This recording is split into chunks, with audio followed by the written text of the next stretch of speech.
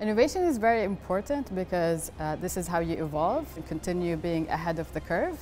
My name is Ola Dudin. I'm CEO and co-founder of BitOasis, and we allow people to easily buy, sell, and trade digital assets.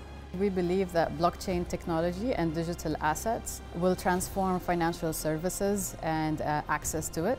I have a passion to solving problems with technology and when I stumbled upon uh, Bitcoin and blockchain technology, I saw the potential of that.